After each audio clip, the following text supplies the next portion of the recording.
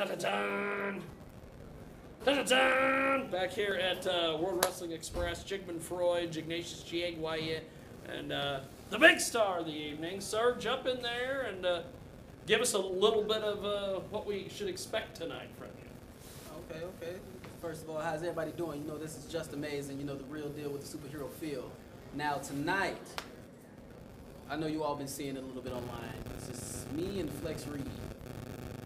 Mr. Pound for Pound, the baddest wrestler around. Yeah, we hear all night.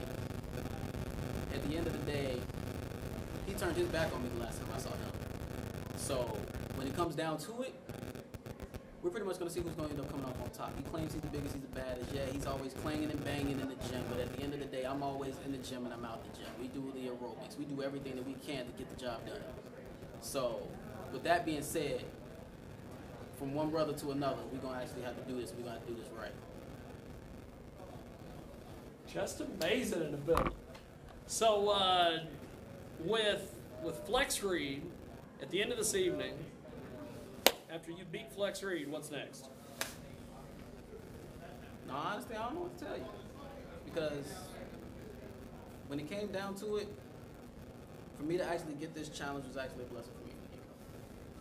Because for a lot of people that don't know, I was recently in a car accident not too long ago. Oh wow! Where when it came down to it, that I should not even be here from if anybody would have seen that wreck.